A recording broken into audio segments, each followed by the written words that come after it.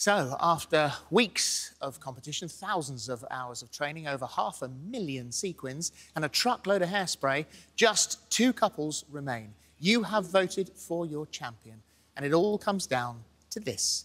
We are about to be given that result.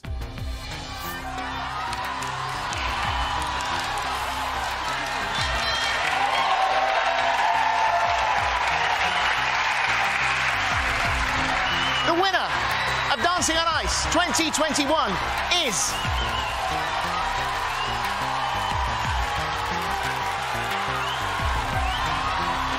Sonny Jay and Angela!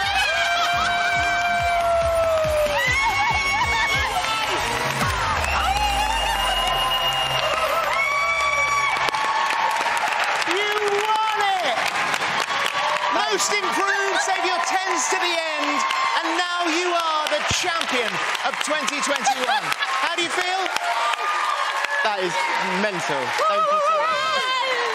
So, so thrilled for you guys. Well done. DJ, of course, Ben and Matt are runners-up. You've been superb too, and to make it through to the final, you know, is incredible. To be runners-up, I mean, it's been an incredible year for talent. You've done so well. Exactly, and all I wanted to do was get here. I just, I did it as a personal challenge.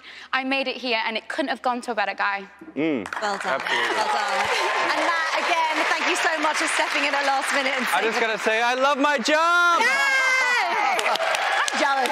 It's that we've waited all series for. Tricky series, it's time to lift that trophy. Dancing on Ice champions, Sonny Jay and Angela.